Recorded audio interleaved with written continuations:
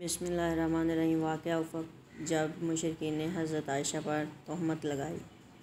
इसी गज़वा से जब सल्लल्लाहु अलैहि वसल्लम मदीना वापस आने के, आने लगे तो एक मंजिल पर रात में पड़ाव किया। हज़रत आयशा रज़ी तहा एक बंद हदज में सवार होकर, हदज में सवार होकर सफ़र करती थी और चंद मखसूस आदमी इस हदज को ऊँट पर लादने और उतारने के लिए मुकर थे। हज़रत बीबी आयशा रज़ी तह लश्कर की रवानगी से कुछ देर पहले लश्कर से बाहर रफ़ा हजत के लिए तशरीफ़ ले गई। जब वापस हुई तो देखा कि इनके गले का हार कहीं टूट कर गिर पड़ा है। वो दोबारा इस हार की तलाश में लश्कर से बाहर चली गई। इस मरतबा वापसी में कुछ देर लगी और लश्कर रवाना हो गया। आपका हदज लादने वालों ने यह ख्याल किया कि उमुलमोमिन आयशा सदीक़ा हदज के अंदर तशरीफ़ फरमा है। हदज को उन पर ला दिया और पूरा काफ़िला मंजिल से रवाना हो गया। जब आयशा रज़ी तह मंजिल पर वापस आई तो यहाँ कोई आदमी मौजूद नहीं था। तन्हाई से सख्त घबराई, अंधेरी रात में अकेले चलना भी ख़तरनाक था, इसलिए वो ये सोच कर वहीं लेट गई कि जब अगली मंजिल पर लोग मुझे ना पाएँगे तो ज़रूर ही मेरी तलाश में यहाँ आएँगे।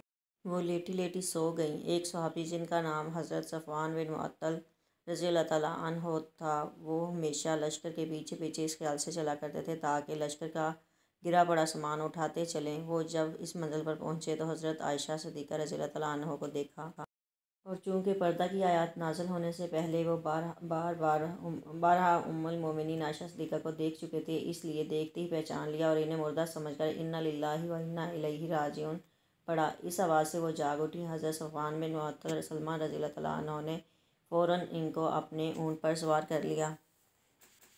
और ख़ुद ऊँट की मुहार थाम कर पैदल चलते हुए अगली मंजिल पर हजूर अलैहि वसल्लम के पास पहुँच गए। मुनाफ़ों के सरदार अब्दुल्ला बिन अबी ने इस वाक़े को हज़रत आयशा रज़ी तह पर तहमत लगाने का ज़रिया बना लिया और खूब खूब इस तहमत का चर्चा किया। यहाँ तक कि मदीना में इस मुनाफिक ने इस शर्मनाक तहमत को इस कदर उछाला और इतना शोरगुल मचाया कि मदीना में हर तरफ़ इस इफ्तरा और तहमत का चर्चा होने लगा।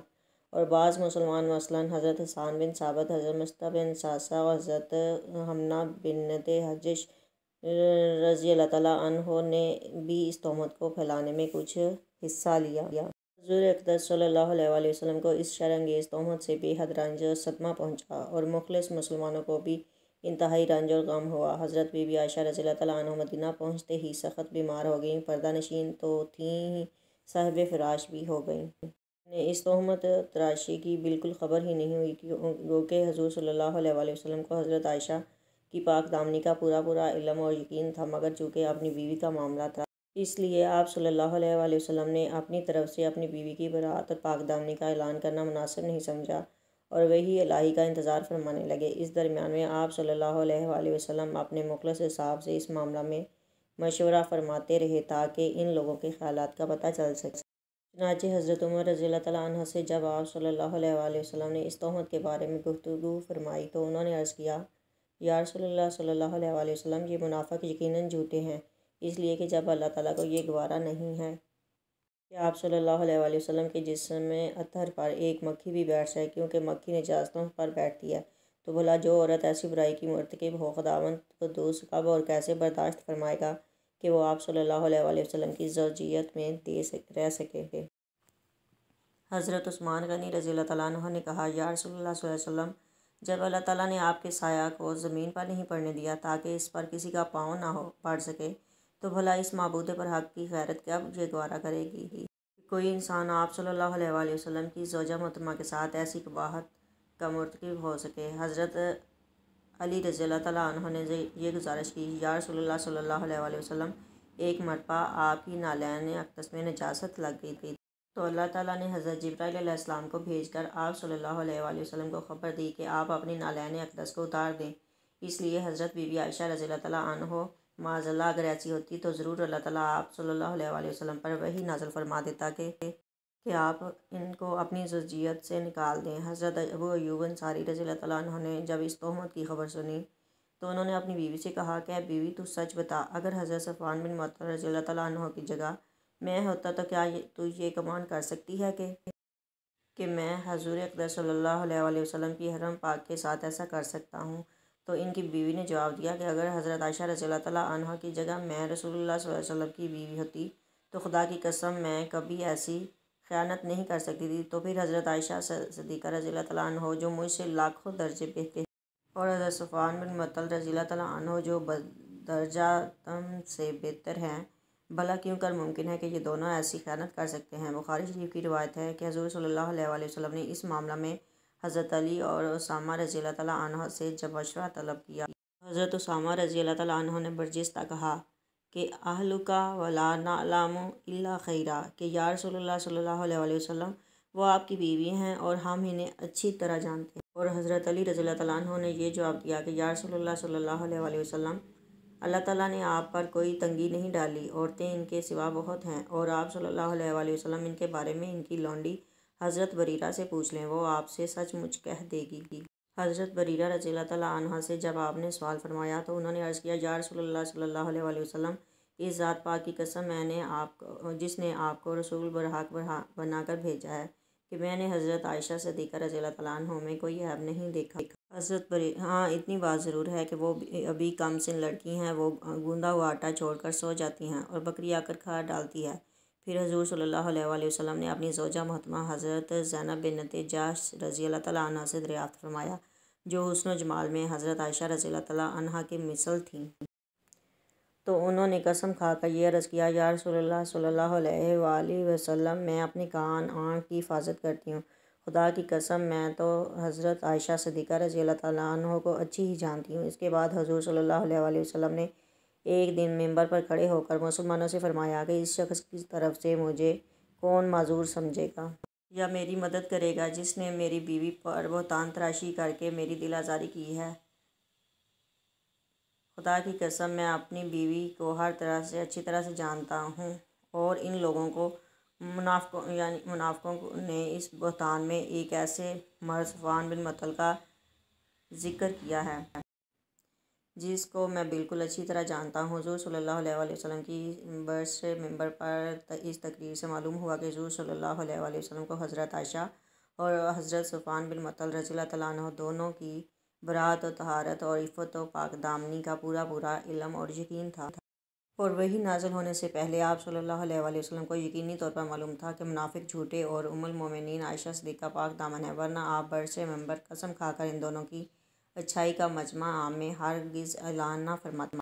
मगर पहले ही आम ऐलान अलान आम ना फरमाने की वजह यही थी कि आप बीवी की पाक दामनी का अपनी ज़ुबान से ऐलान करना हजूर सल्लल्लाहु अलैहि मुनासब नहीं समझते थे। जब हद से ज़्यादा मुनाफिकीन शुरू होगा, शुरू कर हजूर सल्लल्लाहु अलैहि ने मंबर पर अपने ख्याल अकदस का इजहार फरमाया, मगर अब भी ऐलान आम के लिए आप वही अलाही का इंतज़ार ही रहा।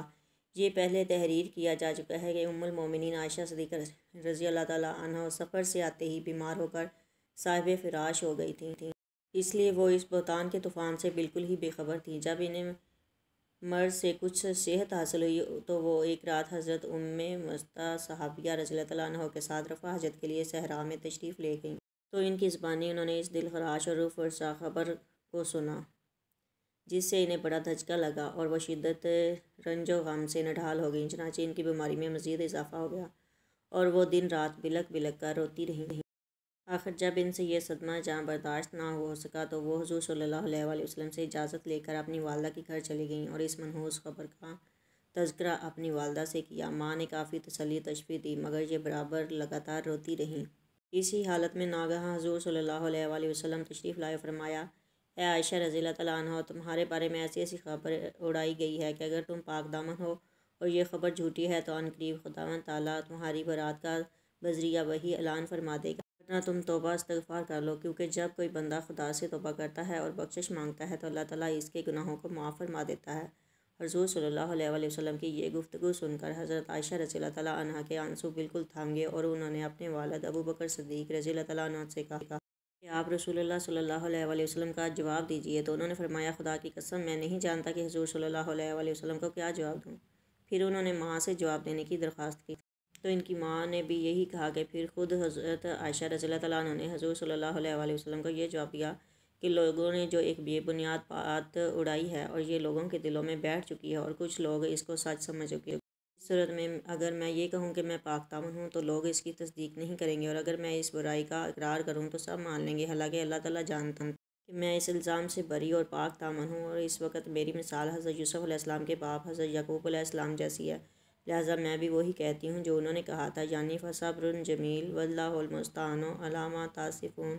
ये कहती हुई उन्होंने करवट बदल कर मुँह फेर लिया और कहा कि अल्लाह ताला जानता है मैं इस तहमत से परी और पाक दामन हूँ और मुझे यकीन है कि अल्लाह ताला ज़रूर मेरी बरात का, को ज़ाहिर फरमा देगा। हज़रत आयशा सदीक़ा रसी तैन का जवाब सुनकर अभी सल्लल्लाहु अलैहि वसल्लम अपनी जगह से उठे भी ना थे।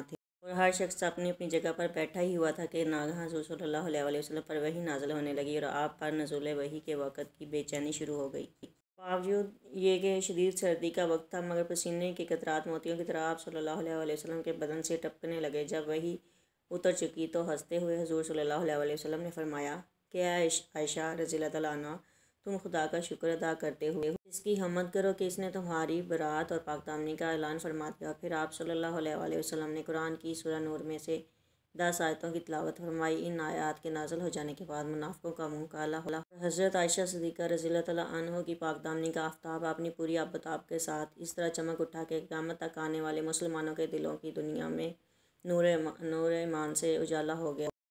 वसल्लम ने मस्जिद नबी में एक खुतबा पढ़ा और सूरह नूर की आयात तलावत फरमा कर मजमा में सुना दी और तहमत लगाने वालों में से हज़रत हसान बिन साबत, हज़रत मस्ता बिन शासा, हज़रत हमना बिन जश रज़ी हो और रईसमनाफ़िन अब्दुल्ला बिन अबी चारों को हद कज़फ़ की सज़ा में अस्सी अस्सी दुर्रे मारे गए।